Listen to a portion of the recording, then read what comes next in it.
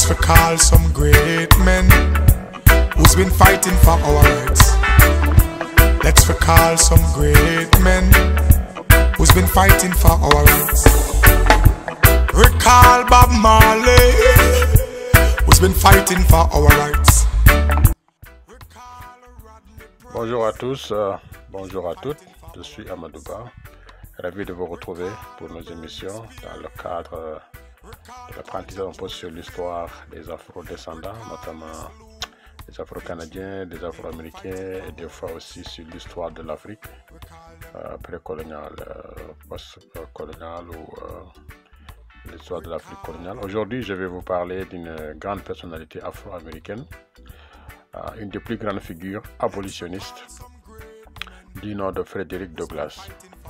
Je vais faire un retour donc sur son parcours, un parcours atypique, euh, essayant de retracer les plus grandes euh, étapes de sa vie, les combats les plus intenses qu'il a menés et puis euh, tout ce qu'il a apporté en termes de contribution dans l'avancement de la cause des Afro-Américains et des- aux États-Unis, mais aussi dans le monde. Alors, Frédéric de Douglas reste sans aucun doute euh, l'une des figures afro-américaines euh, véritablement les, les plus marquantes en fait du 19e siècle américain, euh, du 19e siècle. Donc, vous savez, aux États-Unis, c'est un siècle très intense, le 19e. Il est engagé dans le militantisme abolitionniste très tôt, dès les années 1840. Euh, c'est d'abord un intellectuel, hein, il écrit, il est autobiographe. D'ailleurs, en 1845, il avait été le rédacteur en chef et éditeur de journaux. Euh, il est aussi connu pour être défenseur des droits, à la fois des droits de façon générale, mais aussi des droits des femmes, à l'époque un sujet très peu étudié. Euh, c'est aussi un homme politique, mais euh, c'est surtout un grand orateur, brillant. hein. On a connu les Martin Luther King, le Barack Obama, mais Douglas aussi était un excellent orateur. Il n'a eu de cesse de lutter inlassablement contre le- l'esclavage, le, racisme et toutes sortes de discriminations aux États-Unis. Euh, dans la présente émission, nous allons retracer son parcours atypique au travers des discours, mais aussi des faits marquants qui ont marqué donc sa vie euh, tout au long de sa naissance jusqu'à jusqu'au moment les plus euh, euh, moments les plus forts de sa jeunesse, mais également de son engagement. Finalement, jusqu'à sa mort, en fait, en 1895, donc vers la fin du 19e siècle. Euh, dans cette euh, émission, je vais d'abord euh, parler de la manière dont Douglas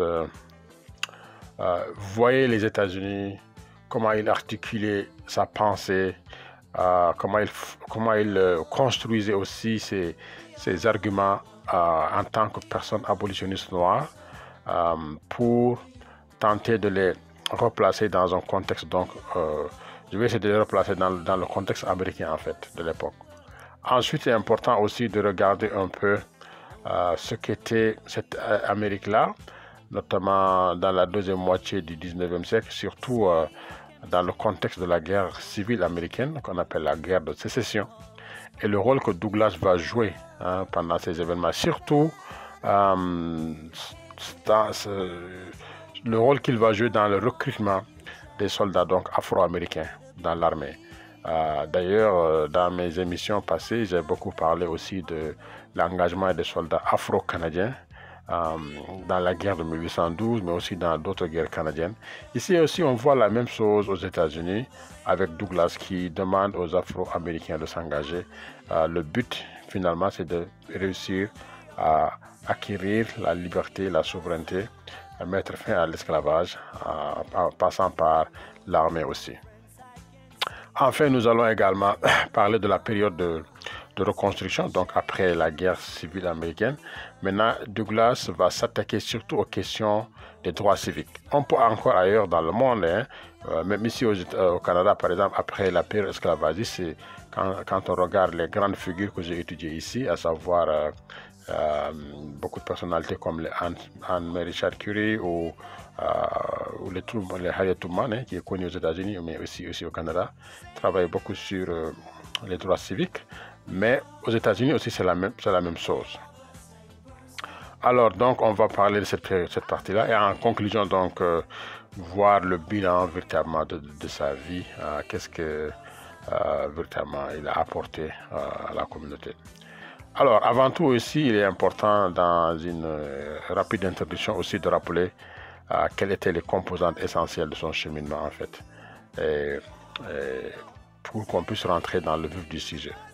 Il faut noter que Frédéric Douglass reste sans aucun doute l'une des figures américaines les plus marquantes des États-Unis du, 19e siècle.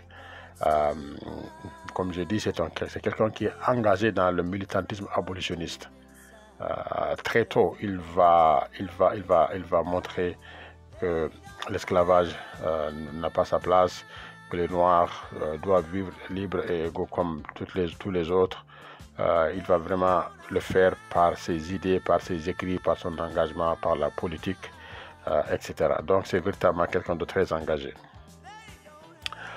Alors, de son vrai nom, hein, si on va essayer de voir sa biographie, il ne s'appelait pas d'abord Douglas, mais son vrai nom c'est Frederick Augustus Washington Bailey. Il est né en 1818. Il est né esclave parce qu'en 1818, l'esclave battait son plein aux États-Unis. Et il est né dans l'État de Maryland. Euh, cette condition d'esclave qu'il a connue durant plus de 20 ans euh, donc euh, a pris fin quand il a décidé de s'évader.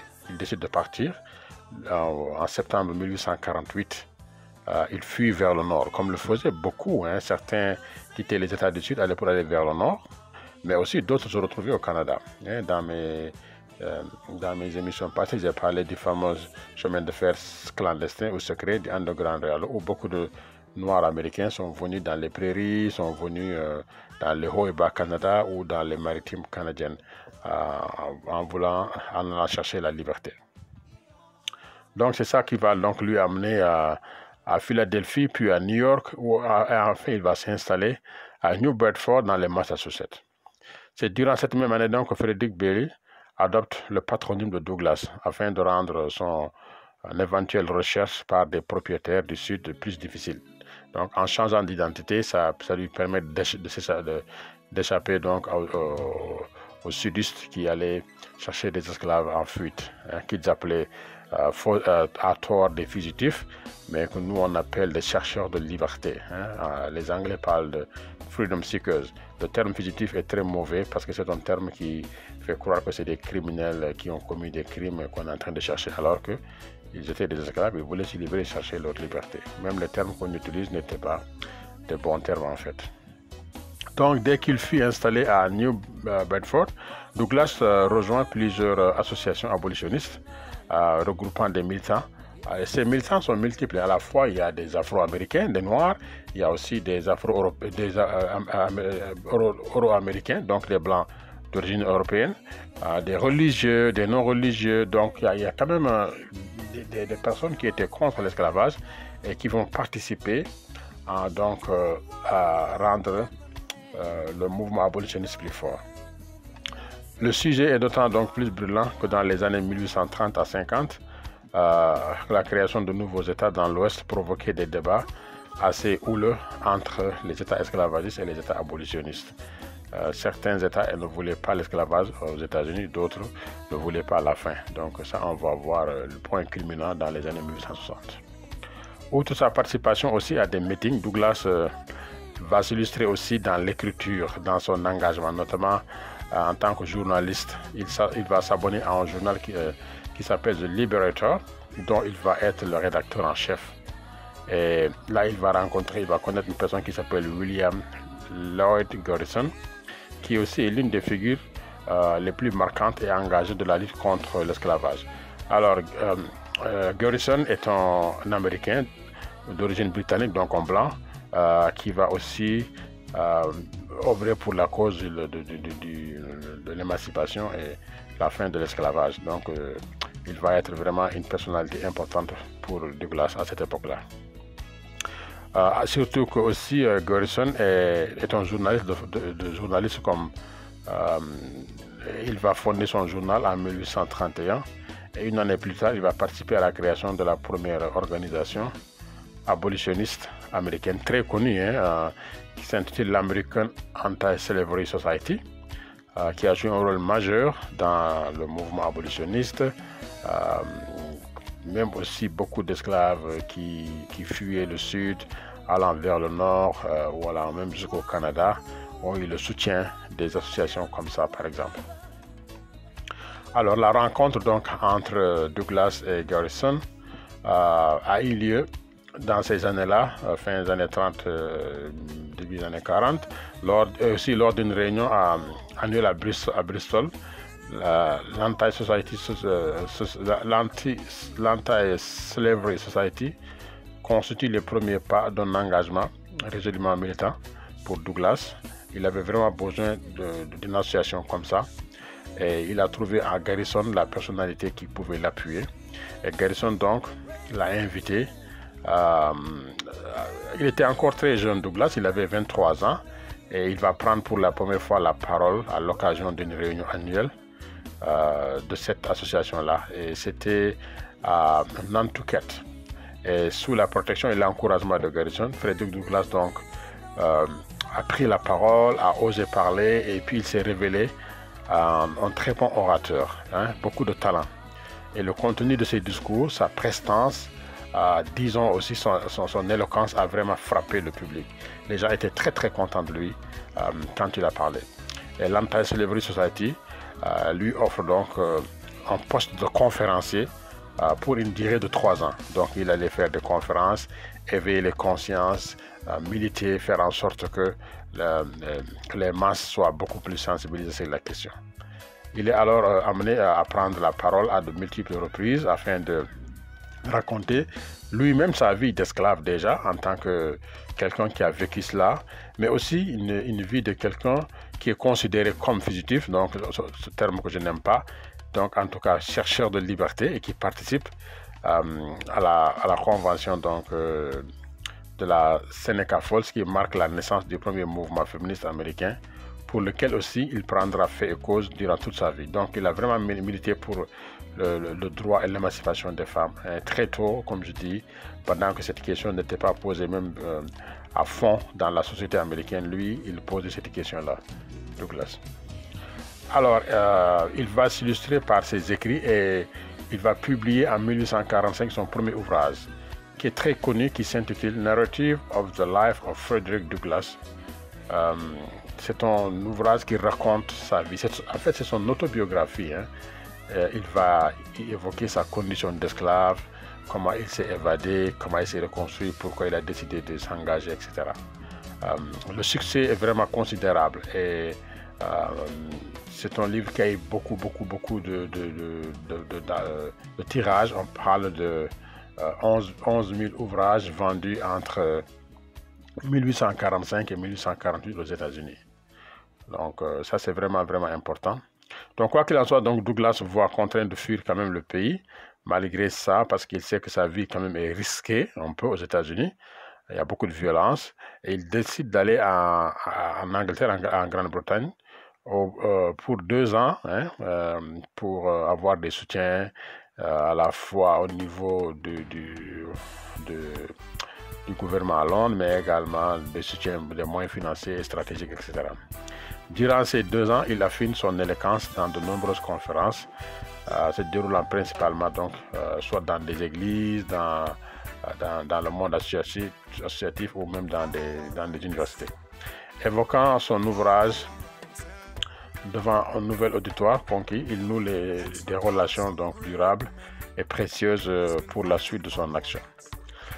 Euh, Douglas obtient tout particulièrement le rachat de sa liberté. Euh, à l'époque, il fallait aussi payer. Il a une somme de 710,96 dollars, disons, grâce donc à des amis anglais qui lui ont, euh, qui lui ont donc rencontré lors d'une conférence, qui lui ont aidé à avoir cette somme-là et puis à racheter sa liberté. Euh, ces derniers, donc après de nombreuses négociations avec euh, l'ancien maître de Douglas, euh, donc mettent ainsi fin à son statut d'esclave fugitif, donc de freedom seeker. Donc il n'est plus maintenant considéré comme quelqu'un qui, qui, n'a pas gagné sa liberté de façon officielle. maintenant, il est quelqu'un de libre. Ainsi, il rentre aux États-Unis à son retour en 1847, marque donc un tournant dans sa vie. Ah, il va se détacher résolument donc de Garrison et de certains abolitionnistes donc blancs, euh, parce que Douglas aussi s'installe déjà à, Rochester, dans l'État de New York, pour, qui pour lui est un endroit très, stratégique, très stratégique pour, et pour sa communauté également. Et il va aussi essayer de voler de ses propres ailes. Il fonde son journal qui s'appelle The North Star, l'étoile nord. Cette cassure entre Douglas donc et Garrison par exemple, cristallise deux points de vue idéologiques quand même que certains trouvent inconciliables. Euh, Douglas s'opposait à Garrison sur la question de savoir si la Constitution fédérale justifie ou non l'esclavage dans son contenu. Euh, donc, ce que Garrison, euh, de son côté, accorde des points d'importance euh, ne croyant pas en une résolution politique du problème de l'esclavage. Donc Douglas lui souhaitait au contraire que les mouvements abolitionnistes adoptent une voie politique et démontrent que l'institution de l'esclavage était anticonstitutionnelle dans la, dans la mesure où rien dans les textes ne, ne la justifiait. Donc ça, ça fait partie des points un peu euh, qu'il a eu avec euh, Douglas. Donc nous allons avancer aussi, hein, pour, parce que c'est un peu long, la vie de Douglas, elle est vraiment intense en allant dans la période charnière entre les années 1850 à 1865. Et là, c'est véritablement la question de l'abolition de l'esclavage. Euh, on, rappelle que dans les années 1850, c'est une loi qui a été votée, la Slavery Act, hein, euh, qui permet encore de pratiquer l'esclavage. Donc là, les, sudistes ont réussi à convaincre le gouvernement fédéral. Et ça, ça crée beaucoup de problèmes aux États-Unis. On peut dire que la distanciation donc radicale avec Garrison et son mouvement donne à Frédéric la possibilité de prendre son indépendance aussi bien sur le plan idéologique qu'organisationnel. Il se sent donc désormais plus sûr euh, de lui à travers son identité, donc d'homme noir et les plus nombreux meetings auxquels il a participé aussi aux États-Unis et en Grande-Bretagne l'ont rendu euh, prompt à se poser comme porte-parole de la communauté. Euh, il avait besoin de cela, d'avoir une plus d'autonomie, de prendre ses engagements sans seulement apparaître comme quelqu'un qui est mis en avant par des abolitionnistes blancs, par exemple. Alors, la, question de l'esclavage aux États-Unis euh, était vraiment au cœur de ses préoccupations. Euh, l'affirmation progressive de, Douglas mais en tant que leader de la communauté noire et abolitionniste convaincu s'inscrit dans un contexte politique pour le moins tendu aux États-Unis entre 1850 et 1860. Il faut rappeler que le contexte est celui, donc, comme j'ai dit, de la promulgation en 1850 de la loi sur les esclaves euh, euh, qui cherchent la liberté, qu'ils appellent les, les, les, les, fugitifs. Donc c'est une loi de 1793 qui garantissait désormais le soutien de l'État fédéral euh, dans la poursuite des esclaves ainsi que la remise en cause euh, donc, euh, du compromis de Missouri qui datait des années 1800, qui était relatif à la mise en place d'une ligne de démarcation des États esclavagistes et des États non esclavagistes, par exemple. Donc Douglas s'éleva avec force contre cette loi sur les chercheurs de liberté, fugitifs entre guillemets. il prend sa plume et rédige dans le North Star un article virulent dans lequel il, il dit je le cite, le seul moyen de rendre caduque la loi sur les esclaves fugitifs, entre guillemets, est de tuer une bonne demi-douzaine de chasseurs d'esclaves. Fin de citation. Donc, ces propos montrent qu'il opte pour la résistance euh, dure.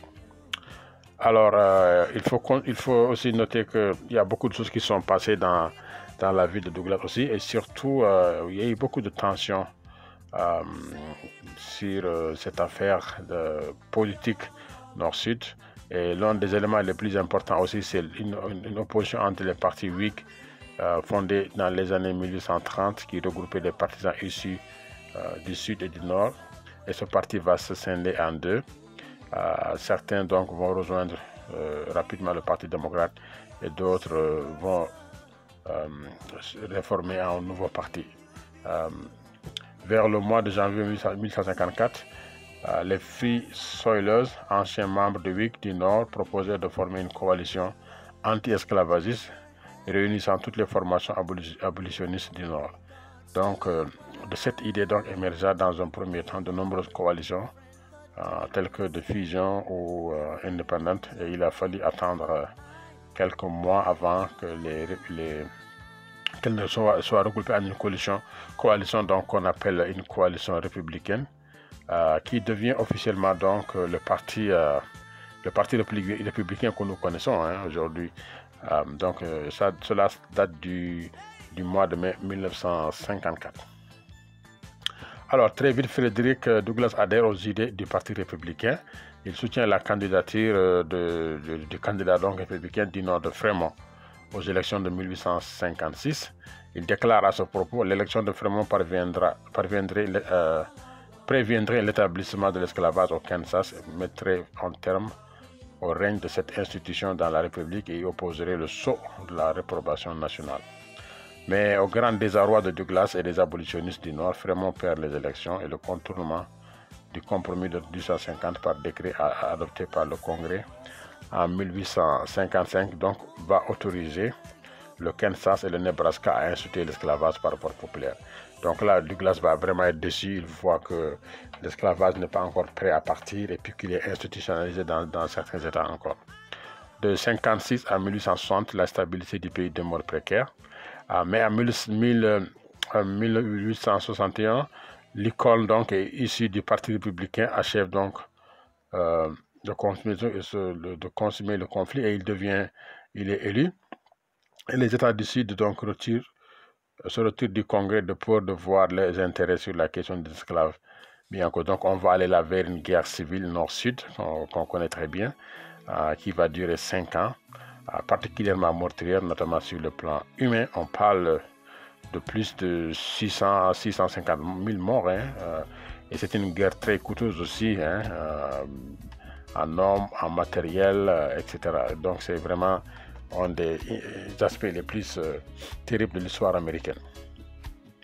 Donc, de cette période, donc, euh, Douglas devient un nouveau vecteur de communication et de prise de position de la question de l'esclavage. Euh, son journal, le North Star, continue donc de publier et Douglas aussi va offrir la possibilité aussi de véhiculer ses opinions politiques et sociales euh, dans, ces, dans ces journaux, mais aussi dans d'autres. Euh, il continue son combat et c'est surtout euh, des sujets qu'il qui, privilégie hein, sur la question de l'esclavage, mais aussi dans le Nord Star, il publie des articles sur la fuite des esclaves au Canada hein, ou sur la question de l'immigration des Noirs en Afrique, ainsi que sur la cause féministe. Donc ces trois sujets reviennent euh, parce qu'à l'époque, il y avait beaucoup de, réseaux qui faisaient venir des esclaves des États-Unis au Canada. Euh, il y avait aussi un débat, est-ce qu'il fallait ramener les esclaves en Afrique? C'est dans ce sens qu'on a ramené certains en Sierra Leone, par exemple, en 1846, donc, ou le Libéria. Sierra Leone, un peu avant, et au Libéria, c'est là où on a ramené beaucoup d'esclaves noirs.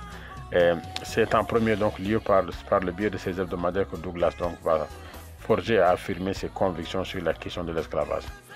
Dans ses nombreux articles aussi, il pose les bases de sa stratégie qui vise à s'appuyer sur une interprétation anti-esclavagiste de la Constitution, tout en rappelant les valeurs fondamentales de la liberté, d'égalité qui y sont inscrites.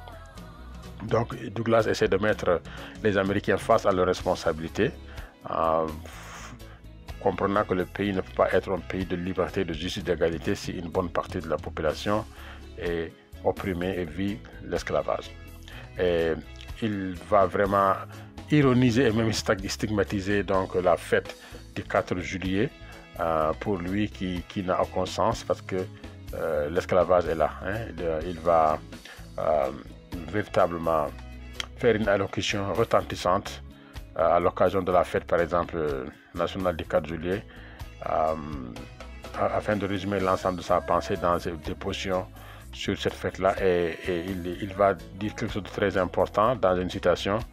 L'objet de cette célébration est donc le, le 4 juillet, jour anniversaire de votre indépendance. Il ne dit pas notre indépendance, mais votre indépendance nationale et de votre liberté politique. C'est pour vous l'occasion de vous rappeler le jour de l'acte de votre grande délivrance ainsi que les signes et merveilles associés à ce jour. Donc là, il, en, disant votre, il exclut, il montre l'exclusion de la population afro-américaine à cause que cette population-là vit l'esclavage n'est pas considérée du tout.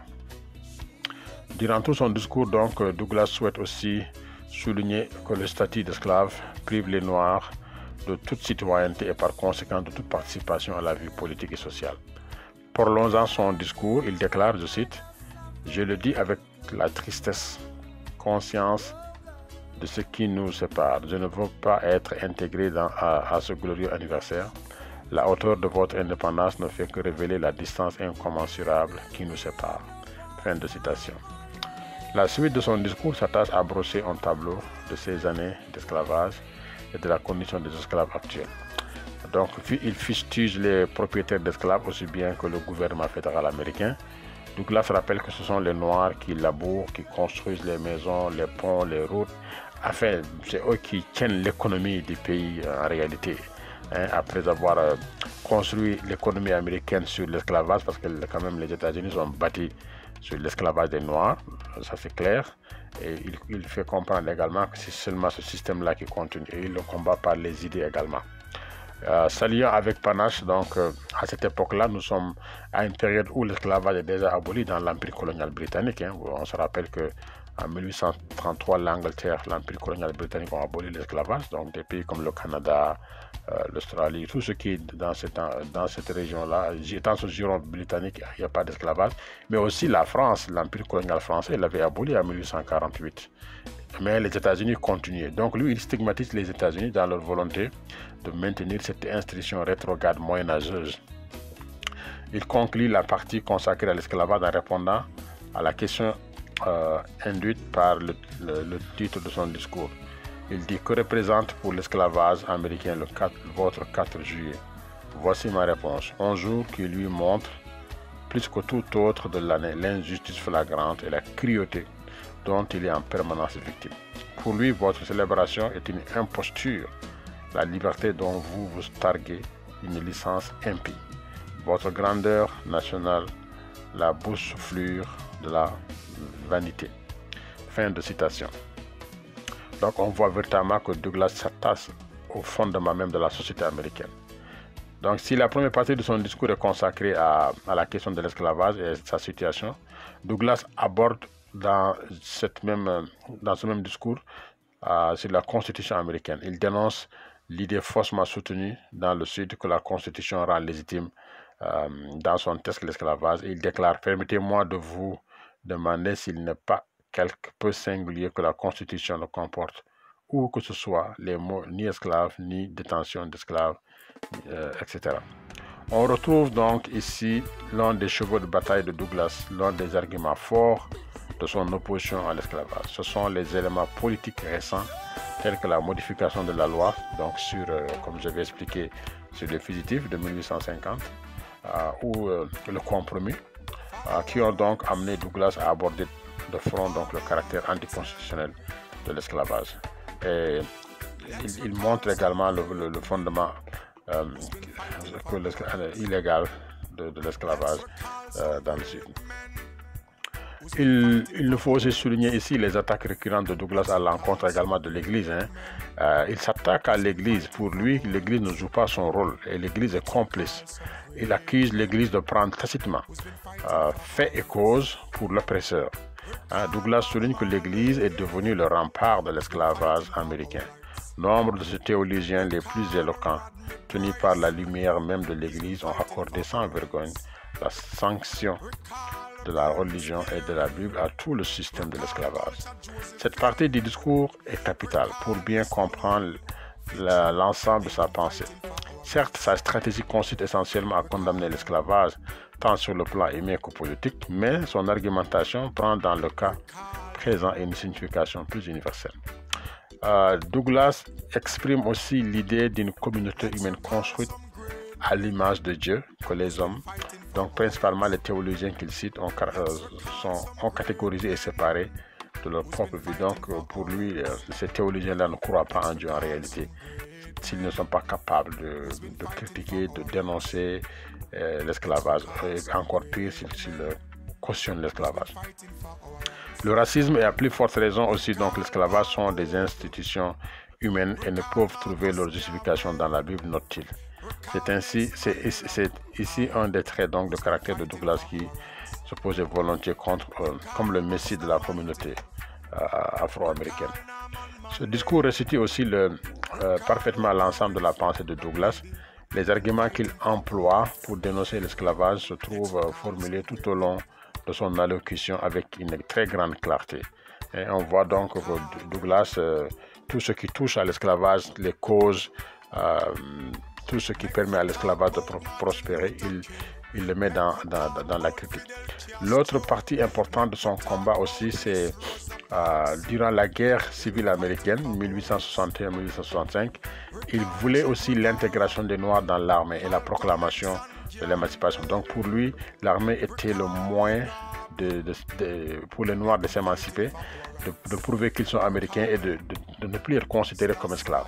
Donc Douglas avait ardemment soutenu la candidature de, Lincoln en 1860, euh, espérant qu'une victoire républicaine devait être et sera saluée comme un triomphe anti-esclavagiste. Donc, bien qu'il ait salué son élection, un an plus tard, il commence à reprocher à Lincoln euh, son manque de pragmatisme durant la première année du conflit et de ne pas assez prendre compte la question de l'esclavage, par exemple. Donc, de fait, Lincoln définit le conflit contre les États sionistes du point de vue strictement politique. Considérant l'acte de scission des États du Sud sous l'angle de la rébellion, Lincoln souhaitait avant tout rétablir l'union du pays, fût-il par la force. Et lors de son allocution en mai 1861 sur les buts de la guerre, il confirme bien la portée politique de son engagement dans le conflit au détriment de la question de l'esclavage. L'icône souligne qu'il n'a aucune intention directe ou indirecte de toucher à l'esclavage dans les États où il existait. Fin de citation. L'évolution du conflit entre 62 et 61 et 62 et les pertes humaines considérables vont obliger donc Lincoln à reconsidérer les demandes incessantes de Douglas sur la création des troupes euh, afro-américaines qu'ils appellent là-bas les, les, les, color, les, people, hein, les, troupes de couleur. C'est ainsi que depuis le début du conflit, donc, Douglas avait mené une campagne dans tout le Nord en faveur de la levée des régiments des soldats noirs pour s'engager. Là également, on le retrouve dans les armées à la fois l'Empire colonial britannique mais française, qu'à la fin de l'esclavage, beaucoup de soldats vont essayer, noirs vont aller dans les armées pour euh, diverses raisons que nous avons expliquées suffisamment dans notre livre, L'histoire oubliée de la contribution des, esclaves et soldats noirs à l'édification du Canada, 1604-1945. Plusieurs arguments venaient étayer donc ces propos. L'un des plus importants est sans doute euh, la volonté d'offrir aussi bien aux Américains d'origine européenne, donc on appelle les Blancs, euh, qu'aux Noirs, euh, une image nouvelle des Noirs. Celle d'un homme euh, servant son pays avec la loyauté, abnégation et par là même aussi l'intégrant activement dans, la nation. L'idée sous-agente de Douglas était ici d'illustrer dans l'immédiat l'armée comme le vecteur d'intégration sociale dans le prolongement et de s'appuyer sur l'expérience et les services rendus par les troupes afro-américaines pour justifier une citoyenneté pleine et entière dans la communauté. Donc, le fait de passer par l'armée serait vraiment une façon de retrouver la liberté et la pleine citoyenneté. Il note à ce titre, dans l'un de ses articles du North Star, Paris en 1862, que le noir parvient seulement à porter sur sa personne les lettres de, cuivre US qu'il arrive à mettre un aigle sur ses boutons, un fusil sur son épaule et une balle dans sa poche et aucun pouvoir au monde ne pourra plus nier qu'il a gagné le droit de devenir citoyen. Fin de citation. Donc, parallèlement à cela, Douglas tente maintes reprises de convaincre Abraham Lincoln d'émanciper les esclaves indépendamment de la question des troupes. Donc il a pensé aussi à toutes ces populations qui ne peuvent pas être soldats mais qui ont besoin d'être libérées. Donc il évoque cette question-là également avec Abraham Lincoln. Il argue, euh, argue que du fait qu'une proclamation d'émancipation prolongerait le Sud dans une situation militaire et économique catastrophique en lui retirant une grande partie de sa main-d'œuvre servile. Le premier souhait de Douglas sur l'intégration des Noirs dans l'armée est exaucé dès 1863 avec la création du 54e régiment des couleurs de Massachusetts. Hein. Euh, donc ça, ça ils vont ils vont l'écouter et, il va y avoir un corps de Noirs euh, soldats. Moins d'un an plus tard, les troupes fédérales comptent donc plus de 20 000 soldats noirs qui sont au combat. Toutefois, l'ensemble de ces régiments furent bien souvent employés aux travaux de terrassement, au comblement des tranchées ou à l'assèchement des marais et à la rénovation des troupes pour un salaire inférieur à celui des soldats blancs. Donc là également, c'est un aspect qu'on retrouve à la fois dans l'histoire canadienne, le fait d'utiliser les soldats noirs comme des, euh, transporteurs, refuser de leur donner des armes. Euh, ça, on l'a vu, hein, à tel point que le même au Canada, le corps militaire afro-canadien le plus connu, c'est le deuxième bataillon. Et on oublie tous ces soldats qui ont fait la guerre de 1812, par exemple. Euh, le rôle d'auxiliaire joué par ces troupes amena Douglas à rencontrer Lincoln en août de la même année afin de lui demander la cessation des mesures discriminatoires à l'encontre des, soldats afro-américains et leur engagement sur le théâtre des opérations. Donc ça aussi très important, il mène ce combat-là. Euh, et de 1860, dès 1864, les troupes afro-américaines sont activement engagées dans plus de 200, 200 batailles et les salaires sont alignés sur ceux des blancs. Et là, ça va voir euh, tous les résultats que ça va produire l'influence que ça va apporter à la suite des événements. Donc, euh, les pertes des troupes afro-américaines aussi sont, importantes. Elles s'élèvent à plus de 20% sur les quelques 200 000 volontaires ayant servi durant le conflit. La proclamation euh, d'émancipation de Lincoln en janvier 63 rejoint en partie le second vote de, Douglas, puisqu'elle a franchi donc euh, les Noirs de l'esclavage. Donc une fois que cette participation est réelle, maintenant qu'on voit que les Noirs sont des citoyens américains, là Lincoln va prendre la question au sérieux et l'esclavage va être euh, euh, aboli aux, États-Unis. bien qu'appliqué principalement dans le Sud durant la guerre, donc la proclamation sera progressivement installée dans tout le pays entre 1865 et 68. Elle constitue pour Douglas la plus grande victoire des abolitionnistes du Nord. Elle ouvre la voie à une intégration complète de la communauté afro-américaine dans la société américaine, euh, si souvent évoquée et ardemment souhaitée donc par Douglas. On voit donc vraiment toute cette importance que Douglas a joué euh, dans, le, dans le, fait qu'il a poussé aussi Lincoln à accepter les Noirs dans, dans, les, dans les armées américaines. Mais la fin de la guerre de sécession en 1865 et la période de reconstruction qui va s'ouvrir n'a pas aussi, va pas être une, période de repos hein, pour euh, Douglas parce qu'on sait qu'après l'esclavage, euh, la période qui va suivre, c'est vraiment encore beaucoup de violence, du racisme, euh, des violences perpétrées dans le sud par des, les Ku, Klux Klan et l'instauration des lois progressives ségrégationnistes dans, avec l'accord tacite du gouvernement fédéral. Donc pour Douglas, encore, ça c'est vraiment terrible. Il va continuer à, mener ce, combat-là pour l'égalité. Ah, là, c'est vraiment la période de la reconstruction et la question vraiment des droits civiques. Et même si l'esclavage est fini, pour lui, il y a énormément de choses à faire. Et la période donc qui va suivre la guerre de sécession euh, voit le retour sous certaines conditions vraiment des États sécessionnistes dans le giron de l'Union. Et euh, on va voir, il y a beaucoup de problèmes. Et d'ailleurs, euh, l'assassinat de, Lincoln le 15 avril 65 n'augure pas beaucoup de choses. Hein. Et puis euh, l'investiture de Buchanan hein, à la présidence après la mort de Lincoln, suivie aussi celle de, l'ancien général des armées Ulysses Grant, va marquer la période de la reconstruction. Et c'est cette période-là où vraiment il y a beaucoup, beaucoup, beaucoup de problèmes. Euh, la liberté nouvellement acquise des Noirs provoque une réaction vraiment violente dans le Sud euh, qui voit émerger des organisations terroristes euh, qui sèment la terreur chez les Noirs. des organisations comme la Camélia ou le Ku Klux Klan dont nous avons parlé.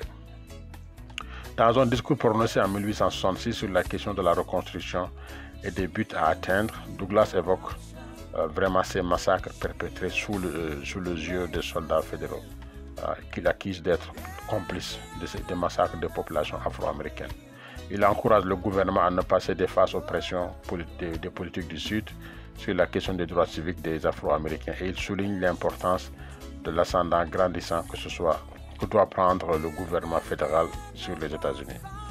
Euh, seule manière, selon Douglas, de contenir les velléités des anciens esclavagistes et de garantir une intégration équitable des Noirs euh, il était aussi sensible véritablement à cette question euh, de la reconstruction et de voir les États-Unis aller beaucoup plus vite euh,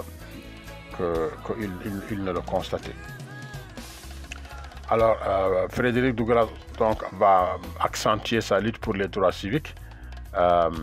parallèlement aux événements sur la question des droits civiques qui occupent une place prédominante entre 1860 et 1877, on sait que les républicains aussi sont les plus radicaux qui exigent dès 66 que soit promulgué le droit de vote pour les Noirs qui ferait d'eux des citoyens à part entière. Était vraiment pas ce qui était vu dans, le Sud et Douglas s'engage aux côtés donc des républicains qu'il appuie et il prononce deux discours au Congrès dans ce sens. Le premier en 1866, il aborde la question de la reconstruction, euh, prenant fait et cause pour une réintégration des États du Sud Douglas souligne l'importance pour le gouvernement fédéral de poser des conditions de politique sociale dont elle retourne. La proclamation d'émancipation doit constituer, selon Douglas, un tremplin pour l'avenir des Noirs et être concrétisée par euh, euh, une pleine jouissance des droits civiques des, Afro-Américains. En outre, les dangers donc euh, suscités par les violences dans le Sud doivent également être condamnés par le gouvernement fédéral selon Douglas. Ensuite arrive le 14e amendement qui euh, sera malgré les tensions ratifiées en 1868. Il garantit la pleine citoyenneté pour tout individu né ou naturalisé aux États-Unis. Ce nouvel acquis encourage Douglas à poursuivre donc son combat pour les droits civiques. Ayant donc désormais accent désormais sa lutte sur la question du droit de vote, Douglas prononce le 19 janvier 67 en un second discours également, euh, toujours dans le cadre de, ces droits-là. Il affirme, euh, il y a plusieurs citations qu'on lui attribue à cette époque. Une des plus importantes, il dit Nous avons jusqu'à présent seulement acquis l'union sans l'unité, le mariage sans l'amour, par exemple. Donc, ça, c'est parmi ces, citations. Il conclut aussi en disant L'adoption du Civil Rights Act qui donne le droit aux Noirs accès à tous les lieux publics sans tenir compte de l'ancienne condition de la servitude. Euh, cette période donc de militantisme de 65 à 70 constitue pour Douglas une période de cap franchi. La ratification des amendements donne aux Noirs une reconnaissance plus grande au sein de la société. Les apports permettent de considérer l'avenir sous de meilleurs auspices, mais ne donnent pas entièrement satisfaction à Douglas qui perçoit dans les années 1870-1880 une nouvelle forme d'esclavage. En effet, la signature du compromis de Missouri de 1877 marque la fin de la période de reconstruction et le retour au pouvoir des Bourbons. Très vite, les États du Sud instaurent une série de lois, euh, des lois très célèbres, hein, très connues qu'on appelle les lois Jim Crow, où il y a aussi des codes noirs visant à séparer les noirs des, Blancs dans les espaces publics. Hein. C'est les fameux lois dans les bus, euh, dans les places publiques, les toilettes, etc., qui ont, continué pratiquement jusque à la fin de la Deuxième Guerre mondiale dans certains États américains. Alors, il va finir son militantisme. Euh, dans une certaine amertume quand même, entre 1877 et 1895. Et dans, euh, dans ce moment-là, Douglas donc, a connu un parcours de militant qui peut se scinder grossièrement en deux parties. La première qui s'étale de, euh, on peut dire, de 1850 à 1965, constitue une période résolument axée sur la question de l'esclavage, euh, mais aussi à partir donc, la fin de la guerre civile, c'est vraiment les droits, les droits civiques. Euh, les événements de 61 à 65 ont donné à Douglas l'opportunité de plaider en faveur de l'émancipation des esclaves en s'appuyant sur la participation des troupes afro-canadienne, donc on appelle les troupes de couleur. L'apport de la guerre avec la proclamation d'émancipation donne un second souffle à sa lutte et atteint son apogée avec euh, la ratification des amendements. De 77 à 84, Douglas n'aura de cesse d'alerter le gouvernement fédéral sur le retour d'une forme d'esclavage, mais aussi de la terreur de l'intimidation. entre 79 et 81, il s'opposera à l'immigration en masse des Noirs vers le nord et surtout aussi vers le Canada, en préférant privilégier l'intégration des Noirs aux États-Unis même sans qu'ils partent ailleurs. Mais les violences euh, engendrées dans le sud, comme les lynchages, vont très tôt amener Douglas à reconsidérer sa position. Alors, la, fin de la vie de Douglas est jalonnée par diverses promotions quand même. Il, va occuper entre 1881 et 1880 le poste de greffier pour euh, le district de Columbia et il est nommé entre 1889 et 1891 ministre à Haïti, un poste dont il va d'ailleurs démissionner suite à la politique d'occupation de, euh, de Mol Saint-Nicolas par les États-Unis. Donc lui, il n'est pas d'accord avec ça, il va rendre sa démission. Il prononce en 1894 son dernier discours intitulé The Lesson of the Hour, donc sur la pratique de plus en plus fréquente de l'inceste. Donc vraiment, il va, il va mourir euh, dans cette période où l'Amérique est vraiment à la recherche. Euh, et vraiment, il y a les démons qui, qui sont là et beaucoup de lynchage des Noirs qu'on tue en plein jour devant les, les, les, forces armées fédérales qui ne disent rien. Euh, et là, Douglas est certain en février 1895 dans sa propriété de Cedar Hill et il est enterré à Rochester, donc à côté de New York.